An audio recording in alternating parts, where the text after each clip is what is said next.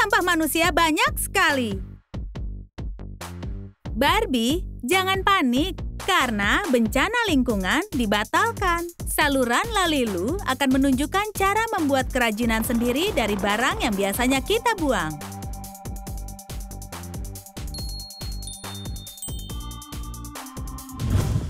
Misalnya, baju dari plastik lentur hitam. Biasanya itu untuk bungkus paket. Bungkus Barbie dengan plastik pembungkus. Gunting lebihannya agar berbentuk persegi panjang.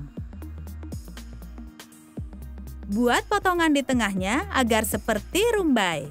Bungkus Barbie dengan plastik dan kencangkan di pinggang. Gunakan untayan kertas dari isian kado. Ikat pita dan gunting ujungnya. Kita dapat gaun vinil bergaya. Ayo lengkapi bajunya. Misalnya, jaket pola hewan itu boleh juga. Itu lebih ramah lingkungan dan itu lebih modis dari bulu asli. Tonjolkan pinggang dengan gesper hitam. Ups, tampaknya gesper ini agak pendek. Tidak masalah, ada trik yang keren untuk situasi ini. Buat simpul dari karet rambut kecil. Sekarang gespernya muat. Sandal emas akan sempurna untuk penampilan ini. Kita akan buat kalung cokor minimalis daripada puluhan aksesoris. Lilitkan untayan kertas dari isian kado ke leher beberapa kali. Ikat simpul dan gunting ujungnya. Sebuah tas akan melengkapi busana ini. Penampilannya sudah jadi. Ya, tentu saja. Dia harus punya ponsel pintar.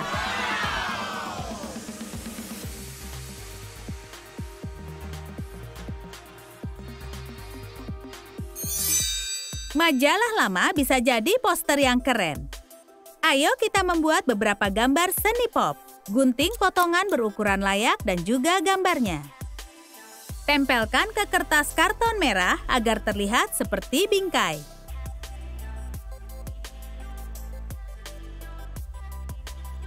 Gunting satu lagi poster, tempelkan ke dasar, dan potong lebihannya. Menakjubkan, aku suka dengan seni pop. Poster plastik cerah akan menjadi aksen desain interiorku.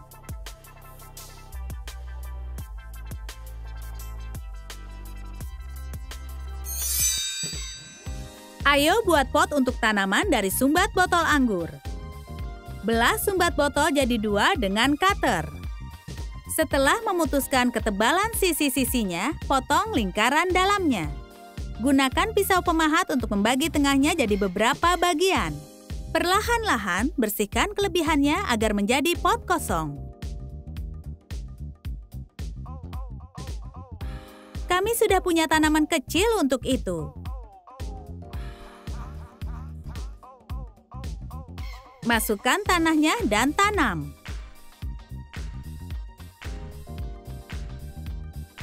Tekan-tekan tanahnya dan sirami. Lakukan yang sama dengan paruh tutup yang lain dan tanami dengan kaktus.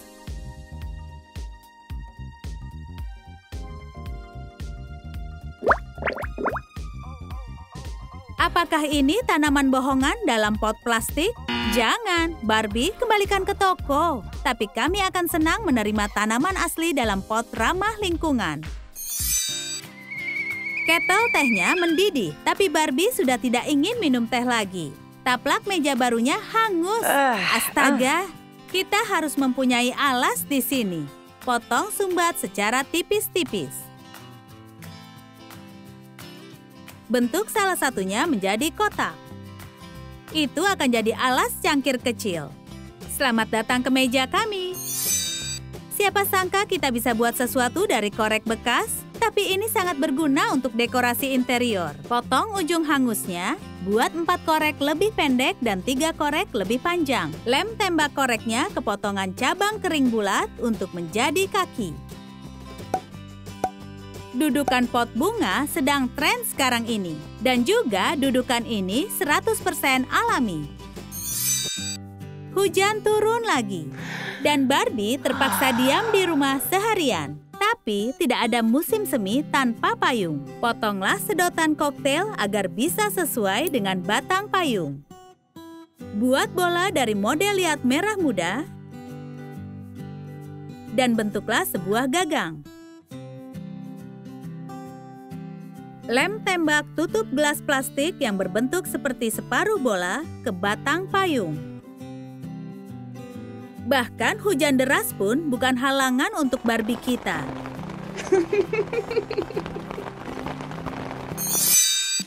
Jangan terburu-buru membuang kardus setelah kau selesai membongkar. Bagaimana kalau kita buat, hmm, meja marmer dari kardus itu? Garis benda berukuran sesuai di atas kardus. Potong lingkaran. Dan sekarang garis lalu potong satu lagi di kertas berpola marmer. Tempelkan lingkaran marmer ke kedua sisi lingkaran kardus. Potong dua strip 1 per 8 inci di sepanjang kertas berpola. Tempelkan ke sisi meja agar meja marmer kita kelihatan sangat tebal. Gunakan gelas yogurt bersih sebagai dasarnya dan lem tembak ke bawah meja. Buat kursi mengembang. Balik gelas kopi dan tempelkan bulu palsu agar menjadi kursi yang lembut. Nikmati tehmu Barbie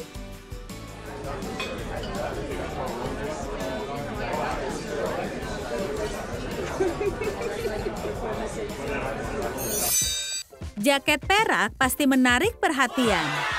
Apalagi jika kau membuatnya unik seperti buatan kami. Ambil bungkus keresan kosong dan gunting bagian yang diperlukan. Hati-hati membuka bungkusnya, tapi jangan sampai ujung. Potong strip di sepanjang tepi tertutup agar lebih sempit. Buat lubang lengan di sisi-sisi pembungkus. Gunting lebihannya dan balik dalam keluar agar sisi berkilaunya di luar.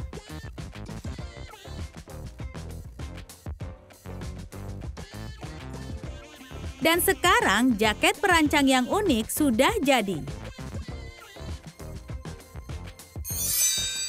Ayo buat cermin genggam. Kita bisa minum sisa susunya saat makan malam. Tapi sekarang kita butuh karton kosong. Tutupnya, lebih tepatnya gunting tutupnya dari pengancing. Hati-hati ratakan potongannya dengan pisau serbaguna. Taruh tutup itu di bawah bagian depan bungkus croissant. Susuri permukaan cerminnya di sisi berkilau menggunakan jarum menyulam. Potong dan tempelkan ke bagian dalam tutup, menyisakan bingkai di sekitar. Potong bagian belakang sendok plastik dengan pisau serbaguna yang dipanaskan.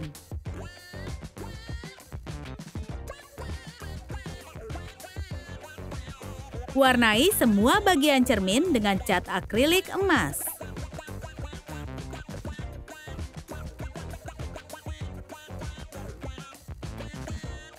Hiasi cerminnya sedikit. Lem tembak untuk menempel berlian imitasi ke bingkai. Akhirnya aku bisa merapikan gincuku. Ini aksesori yang sangat berguna.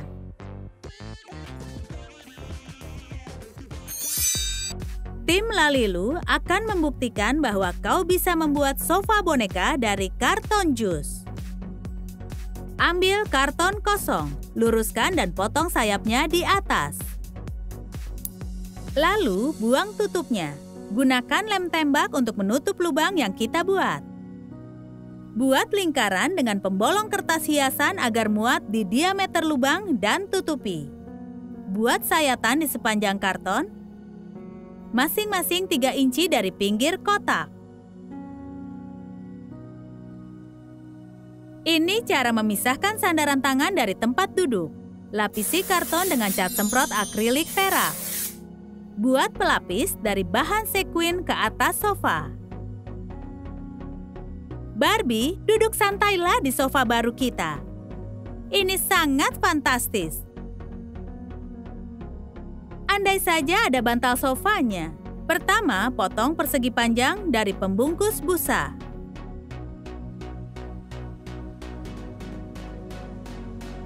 Gunakan lem super untuk menutup sambungan di sisi lainnya. Isi bantalnya dengan isian kado kertas warna apa saja dan tutup dengan lem.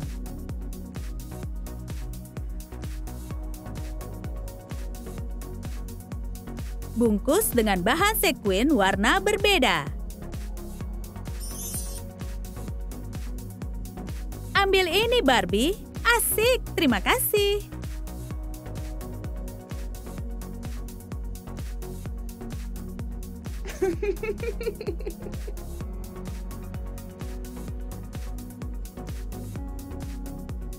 Wow, kau juga bisa menggambar di sequin ini.